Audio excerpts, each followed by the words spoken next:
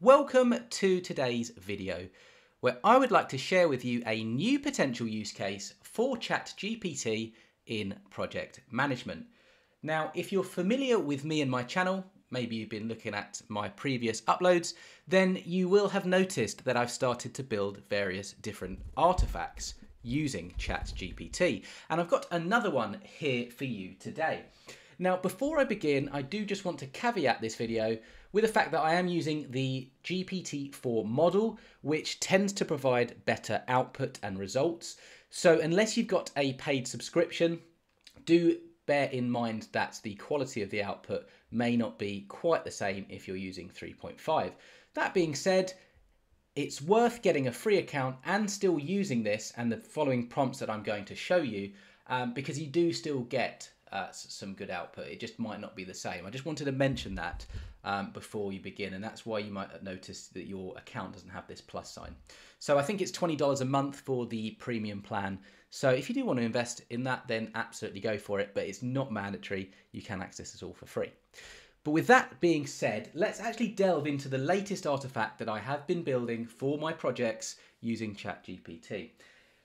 And what I'm going to do uh, for you is I'm going to be, sorry, I had caps lock on as you, as you could probably see. But what I'm going to be doing is sharing some prompts and then how we can tailor those prompts to get better output uh, and to basically fasten the process. So let's start. So this is the, what I've been doing. I've been using ChatGPT to be creating business cases. So here is the first prompt that I'd recommend that you you perhaps start with or just to get a, a, a grasp of what the tool can create. So create a business business case template. Very, very basic, very, very simple. But if I hit that, I'm just going to show you what ChatGPT can do with a very limited prompt. So what it does at the top is it gives you a very, very brief description of exactly what a business case is. So it's a structured document that outlines the justification for a project or initiative, helps decision makers understand the rationale behind the proposal, the expected benefits, and the resources required.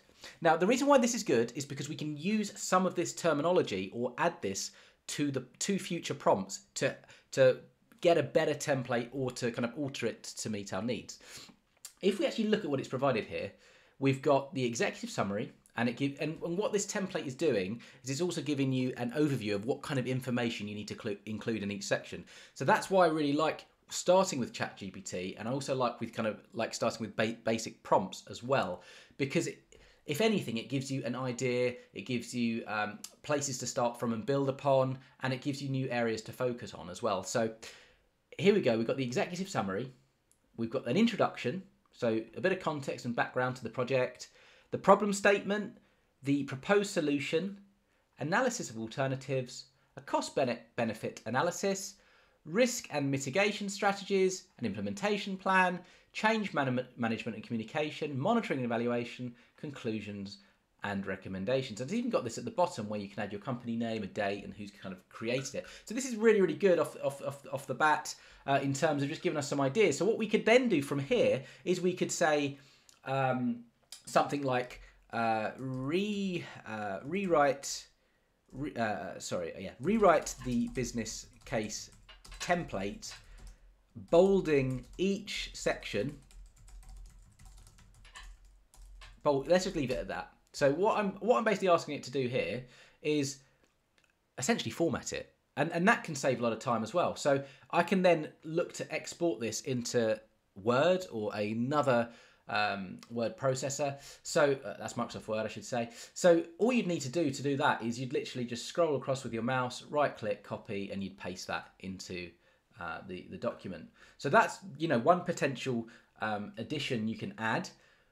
Or you could just use that from the outset. So you could say create a business, create a create a formatted business case with bolded sections. That's another prompt you could you could work from. So obviously it's going to produce the same output, but this is what you could start with this time. And I'm not going to wait for this to, to go through, um, but it's it's really, really, really useful. I'm going to start a new chat because the way ChatGPT works is it kind of builds on the, the former the former prompts. So what we are going to do here is create an example uh, business case for a software project. And the reason why I'm doing this is because I'd like to get an idea of exactly how ChatGPT is going to tailor this for a particular project type. And you can, of course, do this. If you're working on particular types of projects, then you can just simply plug that in instead of instead of this or you could start adding you know being a little bit more specific in your terminology to make sure it kind of um, provides you with the content you're looking for so again this time it's actually it's delving into a, a, false scenario. So you could what you could actually do in this case to take this one step further is you know you could let's let's start again. You could say something like create a business case for a software project that is delivering a new a new tool for then you could put something like the client so I'll just do it like this for now um, client client name issues uh, or we could say we could say something like the proposed solution is so what I'm trying to get to here is the more detailed we can be in our prompt the more it can kind of plug it in and the end result will be more in line with what you're looking for. So that's how you would kind of alter the prompt and kind of expand upon it. So the proposed solution would um, and uh, would would uh, enable the I'll put this again the client to uh, undertake their own I don't know resource allocation and budget.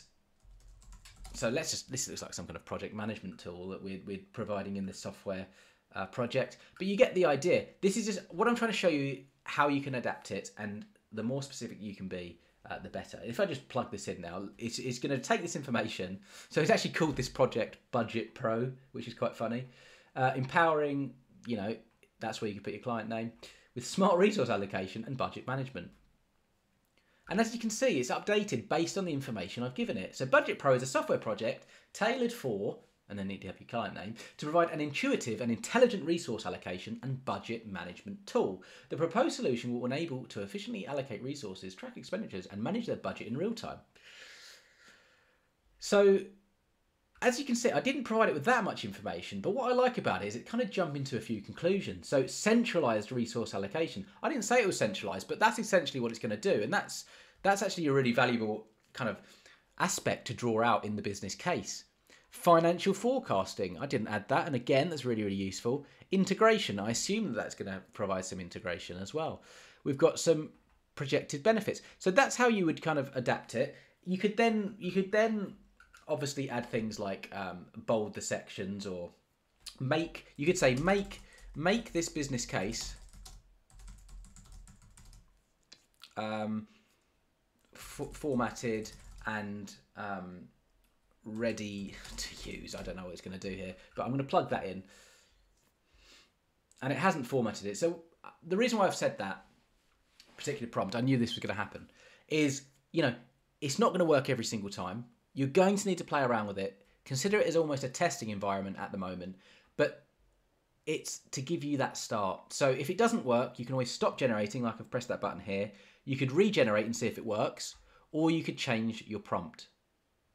So it looks like it hasn't worked again. So what we could do here is click on this button. We're gonna what we're gonna say this time is rewrite the business case, formatting each section. Also, add a section on, uh, let's just put project risks. So the reason why I've said this, hit submit. Let's see if it works this time. It hasn't. So the reason why I think it's got added this and it's kind of confused it, but but you can see from the prompt I did at the start, it, it was able to do that. So what we might need to do is add this in the initial prompt. So just consider that. But one thing I want to quickly show you before we finish, I don't want this video video to go for too long, is you can always type in something like, go into Google and type in something like what to what to include in a business case. Now, we've got this here. This is what's come up from Adobe. Let's just assume that this is the best business case. uh, outline. You can obviously research a lot further than this. I wouldn't just go from the top search result. I'd look into this. Uh, I'd use you know something like an Asana Project Manager, some big you know some big trustworthy websites. Have a little look, see where the overlaps are, see what's missing from some. Then go back into ChatGPT. Create a formatted business case for a software project that will enable the client, uh, uh, I should put it like this, the client to manage their resources better. Let's put it like that. Include the following sections that are bolded and formatted. Let's just put something like that. Copy and paste. Let's see what happens. I've not done this before, but hopefully we're going to get a result that looks great. So as we can see already, it's bolded that. Resource management solution for client, business problem or opportunity. So that's the first one we wanted to include, and it's done so. Benefits. Risk. So absolutely brilliant. So that's what I wanted to show you. You can use other websites. If it's not kind of working for you, you want to to almost use a, a, format that's kind of used elsewhere and you can also do that. So I hope this video was useful. If it was, please do hit the like button. That tells me I should continue recording videos like this and do consider subscribing to my channel if you haven't already. If you head over to my channel, there's plenty of other videos on building artifacts with ChatGPT as along with other project management training uh, videos, whether that's on methodologies, uh, artifacts or anything in between. So with all of that said, I hope you have an excellent day.